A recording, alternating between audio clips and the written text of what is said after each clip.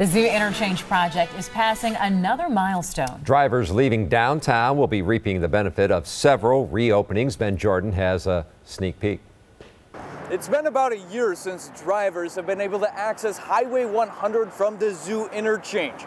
Starting tomorrow, that will all change. Drivers will also notice much more free-flowing traffic heading west on I-94.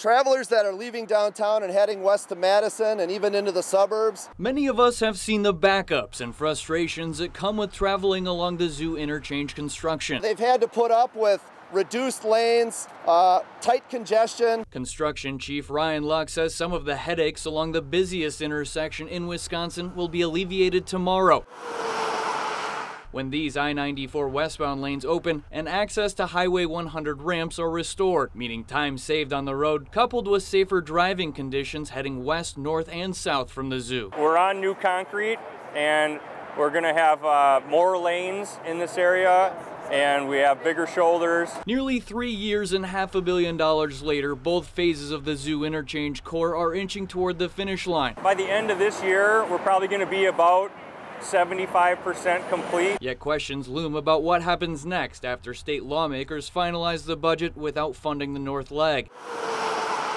Construction supervisor Jason Roselle says that project is currently at a standstill. Undetermined as, as to when it will be completed. WisDOT says Zoo Interchange construction is on time and on budget. It's expected to be complete next August. Reporting on the Zoo Interchange, Ben Jordan, today's TMJ4. New at 6.